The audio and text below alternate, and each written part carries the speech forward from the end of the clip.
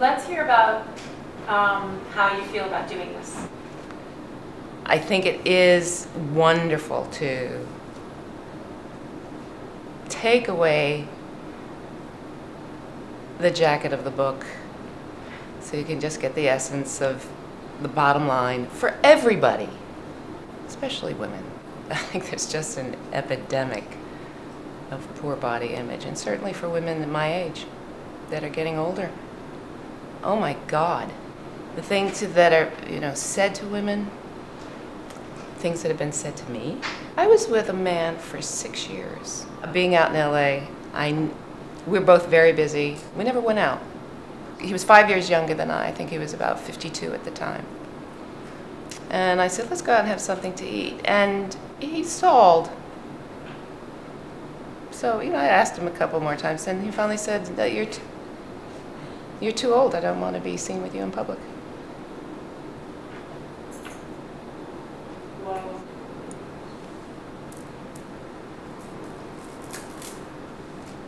Can you talk a little bit about um, what your style says about you? There are times I'll, I'll compare myself and think, can't you at least find a pair of jeans that fit? Because when I was growing up, six feet tall, by the time I was senior in high school, I had a 34 inch inseam. They didn't have 34. They, you still can't find a 34 inch inseam easily. When it, things don't go to the right place, you can feel quite awkward. I didn't mind wearing men's clothes on occasion, but when that's all you're wearing, I mean, I did not come out looking like Diane Keaton in Annie Hall. Trust me. You give up. I gave up and told myself I didn't care. But I did care. There just were no options. Mm-hmm. Perhaps my artistic approach to dressing got stunted. Very sad story. Can you take your shirt off? Sure. Can you talk a little bit about the biggest struggle that you've had that you've turned into a strength? Loving yourself. That was very hard to do. That took intention, practice. That was very hard. The important things aren't changing. I was still in an office. Yeah, I was doing guest star roles. I, I had a star role at the Taper out in uh, LA, rave reviews, but I kept ending back in an office. You know, I mean, that was the day job that went on for decades. And why is this? And why is my weight fluctuating? And, why do I drink too much wine sometimes? And why aren't I sleeping? And the bottom line is, you're not, you're not happy. I found you're not happy with yourself. When I was 40 years old, I started seeing a therapist. The first therapist kept telling me that everything I did was right. And I said, no, that's not possible. I'm doing something wrong. Thank you very much, but I'm going to have to move on. So I went on to somebody else. In that therapy, she was wonderful, but you know, we just kept blaming my parents. And then I was very fortunate to meet Terry. I found what's called spiritual response therapy. And he would clear things with his pendulum and his charts on the other mm-hmm. side. Okay, this is past life. No, this is present life. Okay, this is fear of abandonment. Okay, this is fear of unworthiness. Okay, this is toxic shame or whatever. We're going to clear it. The emotions are in the mind. I always thought they're in the heart. They're not. And it and at first I, I heard it and I hmm, that does no. I'm in love with this guy. I'm just so in love. That's in my heart. Believe it or not, it's in your head. As of December 18, 9, 2011, I was a legal secretary in Los Angeles. And then I sold my house and I came back here. And three weeks later, I got discovered by the gal at American Apparel. I was outside about 11 o'clock having a cigarette, folks. And she was coming across the street from a restaurant to get a cab. And she just said, you know, you look so regal sitting there smoking that cigarette. I said, I don't think very many people would agree with you these days. And she said, it doesn't matter, you're beautiful. And she walked away and I thought, Ooh, wow, thank you. I saw her two weeks later in the restaurant around the corner. And we recognized each other and we started talking. Three weeks later, she called me and she said, what you doing? And I had no idea she worked for American Apparel. I said nothing. And she said, uh, why don't you come down to the American Apparel store. We tried on all these clothes, put them on a rack. Didn't hear from her for two weeks. And then she called me and said, What are you doing this afternoon? Still nothing. She said, Well, why don't you come up? Let's get some shots. And that was the day the underwear shots were taken. So many shots were taken. But see, I had a lot of blocks to everything. I had a lot of blocks to acting. I had blocks to modeling. It wasn't just enough for me to understand what happened in my past or whatever and the things I was rebounding from in my present life.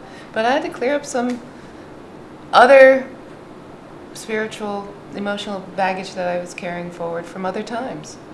There, I said it. I said it because it's real.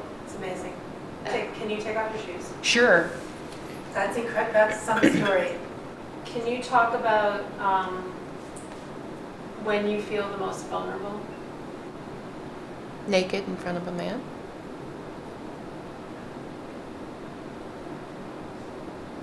I never know what I'm going to get.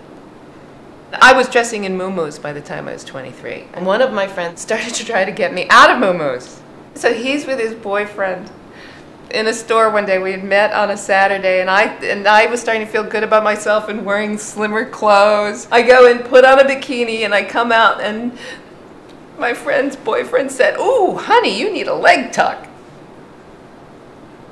I finally stood there one day and said, When are you going to be okay? You've been spending almost 50 years trying to get thin enough, trying not to have cellulite, or ankles that swell. When are you going to be okay? Well. And I finally said, Today. You're going to be okay today. When was that? When Marsha handed me the lace underwear, When you were doing the shoot?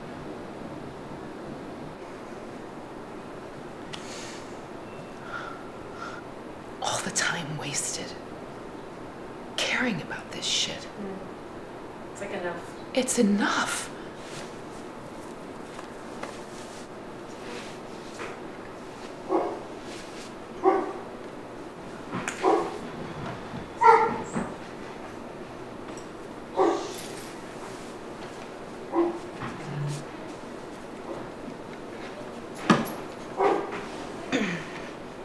When do you feel the most beautiful?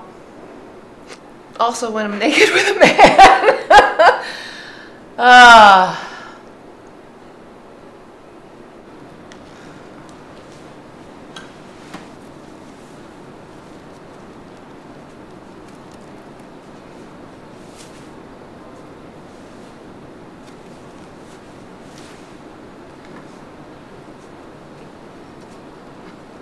You have the most amazing hair. And your hair color. That was also a, a guidance thing before I left. I was sitting at my desk and thinking I should get my hair cut before I go to New York or something. You know, just get it all done before you go to New York. And I just heard this voice say, "Don't cut your hair." And I, a few years before that, I was, you know, dyeing my hair because I used to dye it blonde. got the gloves on, right? The Dr. Kildare gloves, and you got the dye, and you're doing all this stuff, and I thought, oh, I'm so done with this. Yeah. So done with this. Age appropriate hairstyles? Do people realize that before 1920, women did not cut their hair? It's just marketing. It's, Mm-hmm. why don't, It's just marketing. it's all it is. Last question. Can you respond to the quote, "In your body is a good place to be"? I mean, it's no, it's not. If I could change a few things right now, I would. But for the first time, it's like, I'm good this way too. It's, I'm, you know, I'm good this way too. So it's okay. Perfect. That was perfect. That was like a masterpiece. Thanks, guys. That was really amazing. Really? Oh my God. Well,